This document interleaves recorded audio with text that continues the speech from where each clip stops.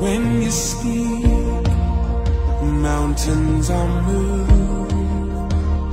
Great in power, you can do all things. Here in your presence, we believe.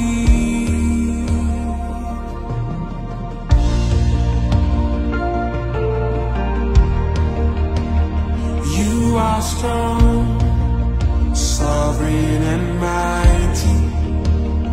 Faithful one. You never fail. You remain our hope and our freedom.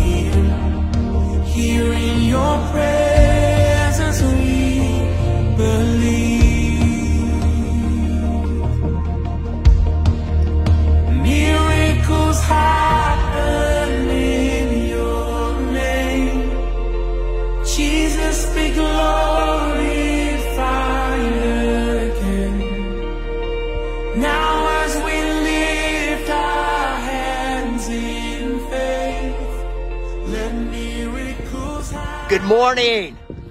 Welcome to 40 Days of Miracles. We're on top of Donner Peak. It is cold, wet, and windy. Early sunrise, and here we are already on top of the peak. Our miracle reading is found in Matthew chapter 8, verse 5.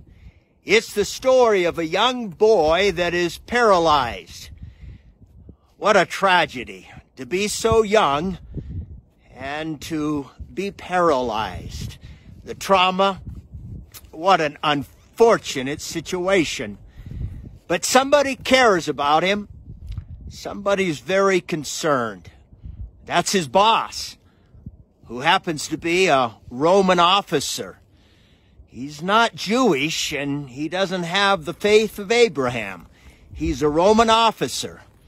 But he seeks out the Lord Jesus Christ and he finds him and he says to Christ, Will you heal my servant? Jesus responds and said, I'm willing to come and heal him. The Roman officer said, Nah, you don't need to come. You just speak the word. The Bible says that Jesus absolutely is amazed at the faith of this Roman officer. You know, there's a lot of things in this short little story of a miracle. Number one, the political party isn't important. He's not Jewish, he's Roman. Number two is loving and being concerned for other people's very important. It's so important, and other people really need us to pray for them. The other observation I have today is you, you, you got to speak the word. Faith is speaking the word. And when you speak the word of God, God responds. Jesus responds. And Jesus speaks the word, and this man, his servant, is instantly healed. Oh, as you read through these miracles, your faith is going to grow. This story is so much different than yesterday's story. We're not praying about ourselves, we're praying for somebody else. And all we do is speak the word. Oh, it's powerful. Wow, it's powerful. Father God, I, I lift up our family and I lift up our friends today. Help me have the faith of the Roman officer as I pray for my loved ones, as I pray for my family, as I pray for my friends.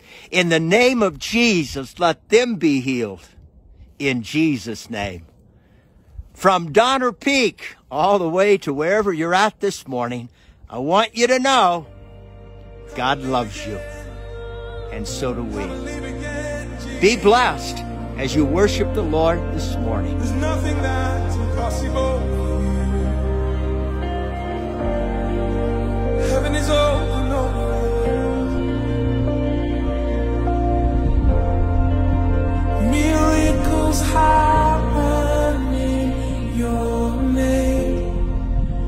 Jesus be glorified